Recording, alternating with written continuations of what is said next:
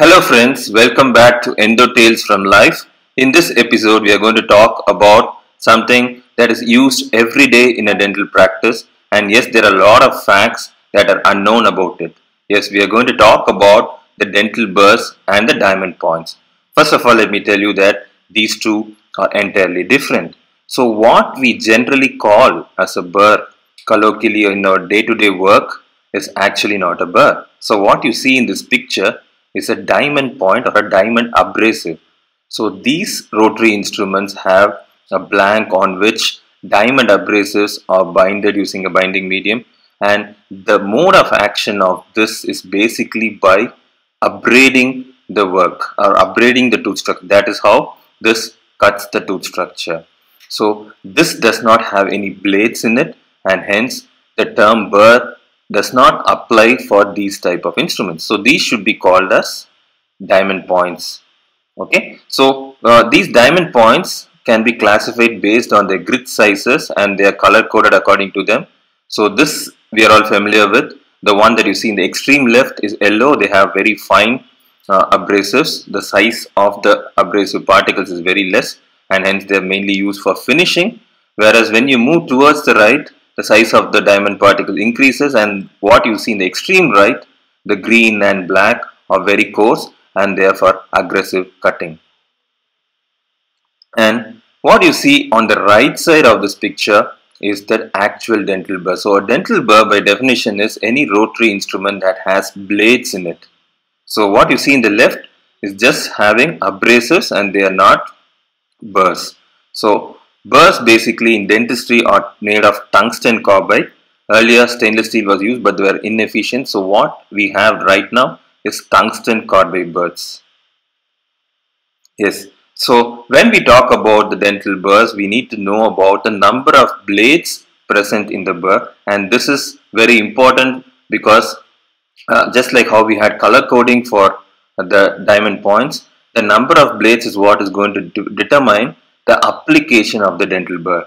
So let us not discuss about the rake angles and the other theory behind the burrs, but let us talk about what is important for a clinician to know. So what we need to know is the number of blades in the dental burr because this is going to decide whether the burr is going to have a cutting action or a finishing action. So first let us uh, see how many blades are there in this pictorial representation of a cross section of a dental burr. So this is the dental blade, the burr blade, whereas the space between two blades is called as the flutes. Often we think that the blades are called as flute, but it's not so. Blades, the distance, the space between the two blades is called as the flutes, whereas blades are the actual uh, cutting abrasive, like how an abrasive is used to cut the material. The blades are the one that produces cutting and all dental burrs are designed to cut when they rotate in a clockwise direction. So you can see here there are 8 blades in this particular burr cross section. So what we need to know is what is the significance of the number of blades is when the number of blades in a particular burr is in between a range of 4 to 10 it has a very high cutting efficiency. So this is uh, controversial to what you may think. So generally we think the more number of blades the burr is more aggressive but it's not so. When the number of blades is lesser, when the flute space is more, that is when the burr is more aggressive. So a burr with four uh, flutes or four uh, blades is the one that is the most aggressive. So generally how we categorize is any burr that has blades between 4 to 10 is considered to be for cutting action Whereas when the number of blades increases somewhere between 12 to 40, it is mainly for finishing and polishing. Their cutting efficiency is very low. Because the engagement of the work is less when the flute space is less between two blades.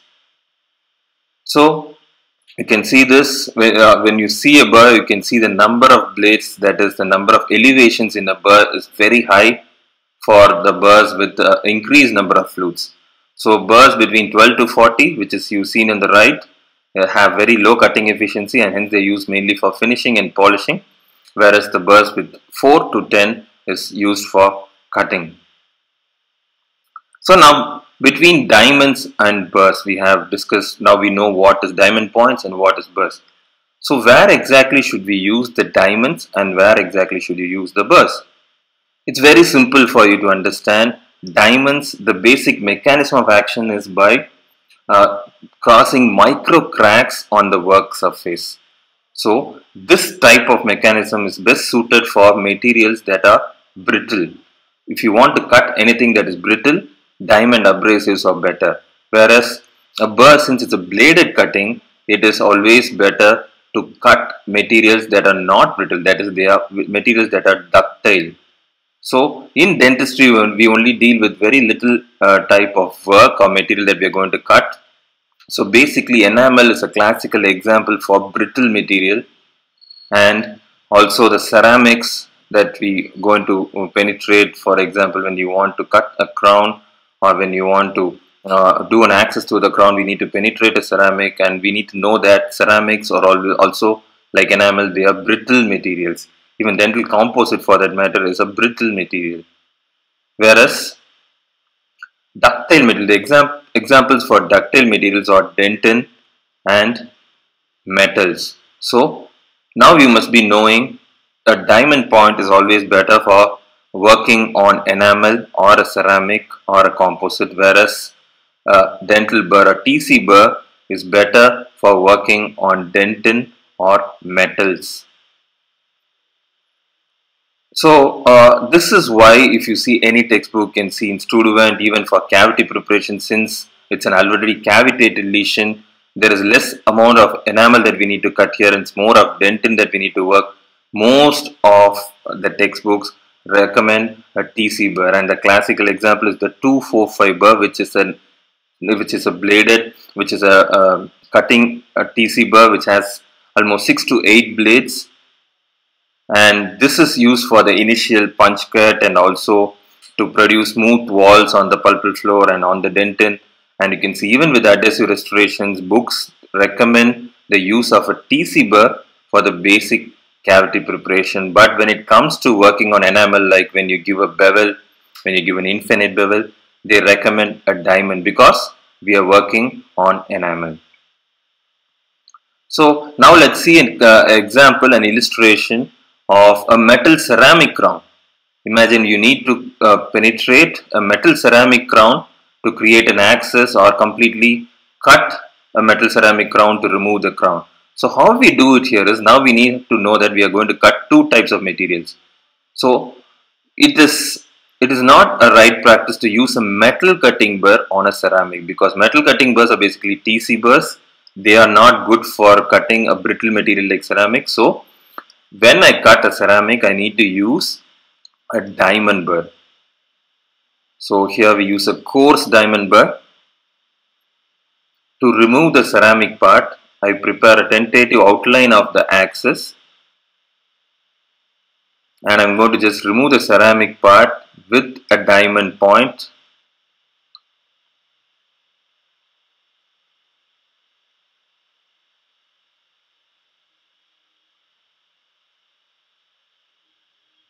and after I cut the ceramic away then there is metal.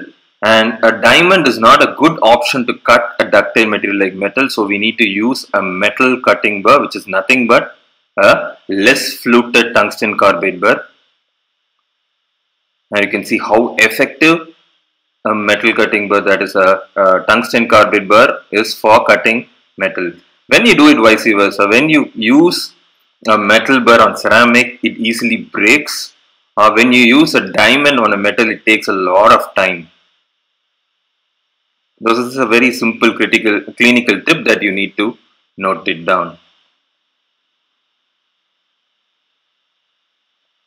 So to cut any type of metal that you encounter in dentistry, you need to use metal cutting burr and one particular burr that I uh, found very effective than some of the brands is the Tri-Hawk metal cutting burrs because they have only four flutes and its cutting efficiency is extremely high and whereas when you want to cut any type of ceramic, be it a lithium disilicate or zirconia, those there are some brands which are specifically available called sintered diamonds for zirconia cutting. Actually, you can just do the procedure with a coarse diamond point. Now, one another clinical aspect which where we often make a mistake is how we remove the composite remnants after debonding of orthodontic brackets. So here again we need to know that we are though we are working on enamel but I do not want to remove enamel. So most often what people do is they take a diamond point and try to grind it and in the process you will see that most of the orthodontic debonded patients have lost a lot of enamel which results in post-op sensitivity and other consequences. So what is the exact method to remove uh, the remnant composites after debonding is, according to studies, is a multi-fluted carbide burr. So though we know that carbide are specially mentioned for brittle materials, the theoretical reason behind this composites over time have water sorption and they become soft and soggy and the, here the whole idea is to just remove the composite and not the underlying enamels. There are also some specific smart burrs made of polymers which have a hardness that is lesser than that of enamel. So when you use this, they only remove the composite and they cannot remove enamel. But uh, most of the studies have recommended a 30 fluted tungsten carbide burr which is very safe. They do not abrade enamel much. Following using this, uh, they advocate uh, using of a soft polishing, uh, composite polishing disc or uh, cup which is impregnated with some polishing uh, agents that is good for debonding procedure. So never use your diamond points for debonding always have these multi-fluted and when I say multi-fluted it's not just 12 or 16 what is recommended is a 30 fluted tungsten carbide burr for debonding of composites. Now before we conclude let us discuss about one more interesting aspect. Let's talk about the type of motion that you perform with your handpiece. Yes, this also has a role on whether you're creating an aggressive cutting motion or a very less aggressive or a, let's let me say a finishing motion.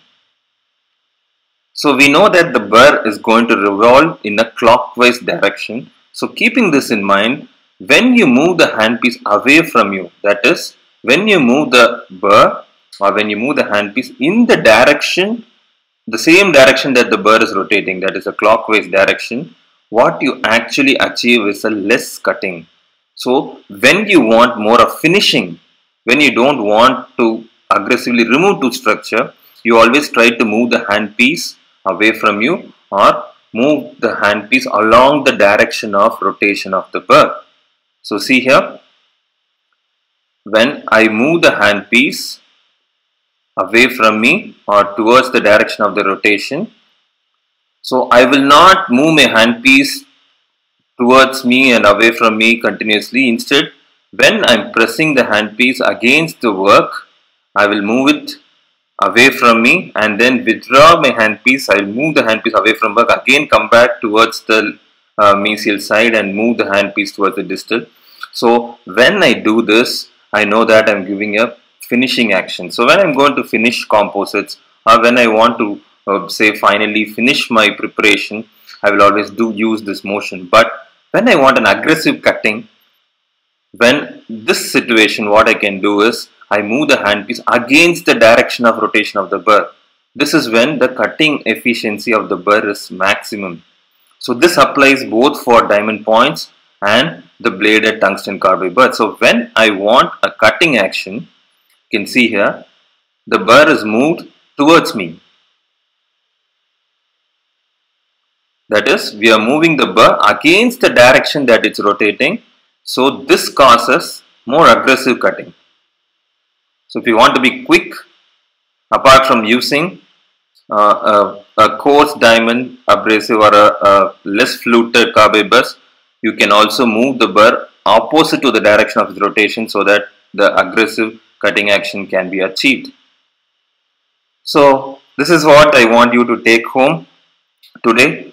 We need to know that there are two different types of uh, uh, rotary instruments that we use in day-to-day -day practice. One is diamond points and one is the, the dental burrs. Dental burrs are used for brittle cutting, especially dentin and to cut metals and whereas diamond points are used for cutting enamel and ceramics or composites. Okay, so to debond, we use multi-fluted carbide burrs. Thank you so much for watching this video. Before I finish, I would also like I'll share one article. This is my first ever publication. So if at all people are interested in knowing more about the Burr classification or the Burr numbering system, we have uh, come up with the, our own Burr numbering system, which was published in the Indian Journal of Dental Research. So I thank uh, my teachers uh, who gave me the opportunity, who pushed me to do this, and special thanks to Dr. K.S. Karthikeyan sir because he was the one who made me uh, uh, do this uh, particular study and do this publication. So thank you so much, sir. After so many years, I take this opportunity to thank you in this endo tale. So people who want, who would like to know more about some educational content that we are providing, please follow us on our social media platform. And people who want to learn uh, more of hands-on endodontics, please feel free to contact us for our Endo 360 workshop. Thank you so much and I'll see you soon in the next endo tale.